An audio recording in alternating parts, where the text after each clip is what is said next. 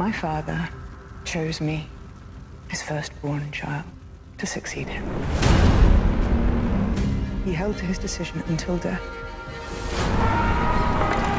And yet, Alicent's son sits my throne. I mean to fight this war and win it. The realm will soon tear itself apart. If men do not remember the oath sworn to King Viserys and to his rightful heir. The High Hightowers are marching. You must crush this beast at its head. Our terms are very simple. Renounce the false king and bend the knee to the king, or your house burns.